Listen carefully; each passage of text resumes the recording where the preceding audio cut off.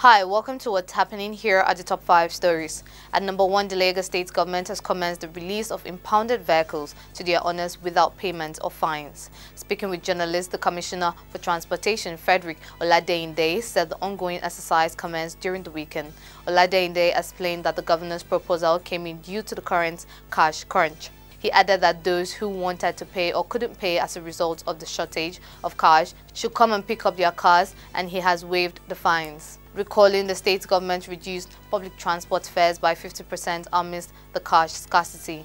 At number two, the Independent National Electoral Commission has said that information in the bimodal voter accreditation system used for February 25th presidential poll is intact. The Electoral Commission lead counsel Tanimu Inuwa gave the assurance on Tuesday at the Court of Appeal in Abuja while opposing an application filed by the Labour Party presidential candidate Peter Obi on BVAS deployed in the presidential poll. Recalling Obi's lawyers also applied to obtain the certified true copy of all the data in the BVAS. However, INEC, through its team of lawyers comprising of four senior advocates of Nigeria, led by Inuwa, urged the court to refuse the application.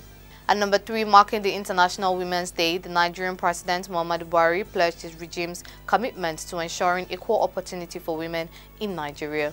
Buhari acknowledged the invaluable role that women have played in advancing the progress of the country since independence, saying they have continued to deliver excellently despite all odds.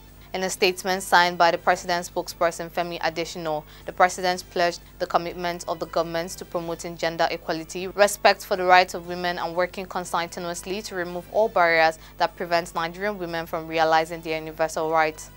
At number 4, the Kano State Governor Abdullahi Ganduje has pardoned and released 12 inmates on death row and also commuted the death sentences of 6 inmates to life imprisonment. The Public Relations Officer Nigeria Correctional Service Kano Command Musbahu Kenasarawa confirmed the development in a statement.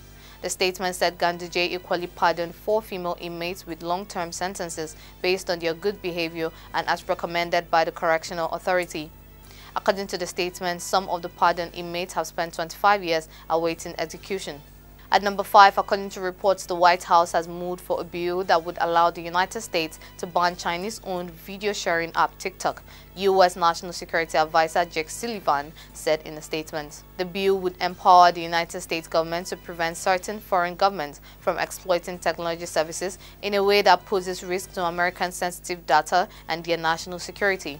The Senate bill and the backing of the White House accelerated the political momentum against TikTok. That's all for now. See you next time on What's Happening.